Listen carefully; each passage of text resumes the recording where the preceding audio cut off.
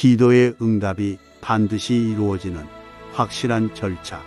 아이디어를 생생하게 그리는 시각화 기법. 마치 직접 겪은 것처럼 아이디어를 생생하게 그리는 것이 시각화 기법의 요점이다. 소망을 간단한 문장으로 집약하라. 암시를 걸고 싶은 아이디어를 압축해 기억에 쉽게 새겨질 만한 간단한 문장으로 요약해서 자장가를 부르듯이 몇 번이고 반복하라.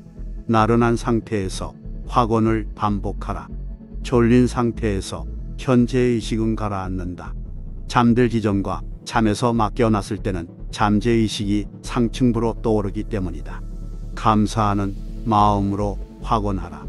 감사하는 마음은 우주의 창조력과 맞닿아 있어서 작용과 반작용이라는 우주의 법칙을 기반으로 한 상호관계의 법칙에 따라 크나 큰 축복이 내 삶으로 흘러들어온다.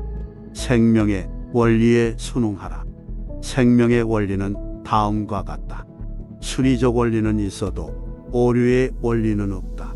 진리의 원리는 있어도 부정의 원리는 없다. 조화의 원리는 있어도 부조화의 원리는 없다. 건강의 원리는 있어도 질병의 원리는 없다. 마찬가지로 풍요의 원리는 있어도 빈곤의 원리는 없다. 확언한다는 것은 그 내용이 맞다고 말하는 것이다. 반대되는 증거가 있어도 지금 말하는 게 진실이라는 태도를 유지하면 기도의 응답을 받을 것이다. 생각은 확언을 할 수 있을 뿐이다. 믿을수록 효과가 커지는 명령 기법. 말의 힘은 그 말에 깃든 느낌과 믿음에 따라 달라진다. 세상을 움직이는 힘이 우리를 대신해서 세상을 움직이고 우리 말에 힘을 실어준다는 것을 알 때 자신감과 확신은 더욱 커진다. 이미 힘이 존재하기에 다른 힘을 더할 필요가 없는 것이다. 생각을 현실로 만들고 싶다면 머피 박사의 시각화, 간결한 확언, 적절한 타이밍에서의 반복, 감사의 표현, 생명의 원리 순응, 그리고 믿음의 강화와 같은 기법을 따르세요. 나른한 상태, 특히 잠들기 전과 깨어난 직후의 확언을 반복함으로써 잠재의식의 힘을 최대화할 수 있습니다.